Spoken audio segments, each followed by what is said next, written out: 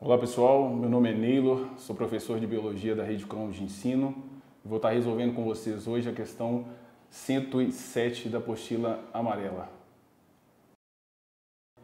Questão 107.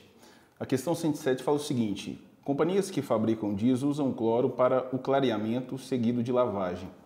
Algumas estão substituindo o cloro por substâncias ambientalmente mais seguras, como os peróxidos, que podem ser degradados por enzimas chamadas de peroxidases.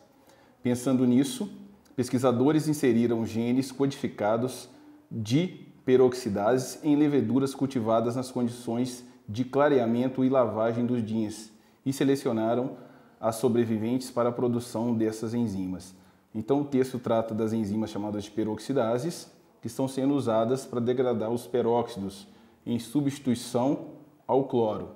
E aqui ele destaca: algumas estão substituindo o cloro por substâncias ambientalmente mais seguras. Ambientalmente mais seguras. Nesse caso, o uso dessas leveduras modificadas objetiva. Então, nós temos como resposta aqui a letra A, que fala reduzir a quantidade de resíduos tóxicos no efluentes da lavagem.